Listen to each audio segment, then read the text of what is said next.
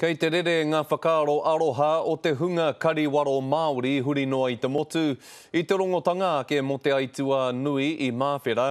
I rāhui pōkeka, kei te ngāhorohoro ngā ngākau o te hapori Māori, i te mea ko te nuinga o rātou he kari waro te mahi.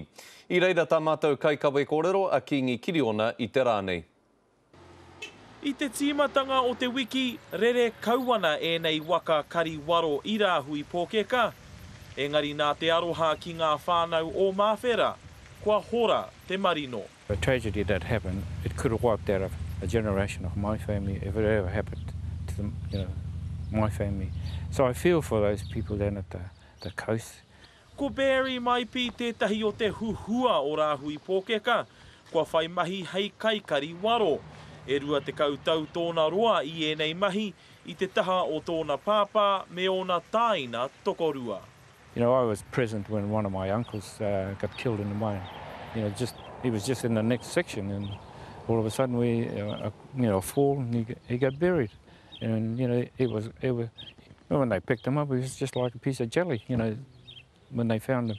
So, you know, I've been through all that. I tēnei rua waro i Rāhui Pōkeka, kei te takiwā o te kotahi rau e rima tekau ngā kaimahi. E whakapaetia ana e rima tekau ōrau ō rātou he Māori.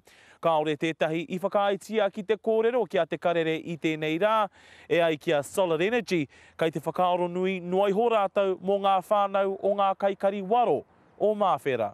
Ko Rāhui Pōkeka tētahi tāone kua rongo kē i te ngau o te momo parekura pēnei i tō Māwhera. E rua aua parekura i konei, e 54 ngā tāngata i mate. Nō konā i tū ai tēnei whare pupuri taonga. I think that the ripples will carry for a very long time. I mean, we still have people coming into this museum ninety six years after the Ralph mining disaster in which we lost forty three men, we still have people who come in here and weep over that.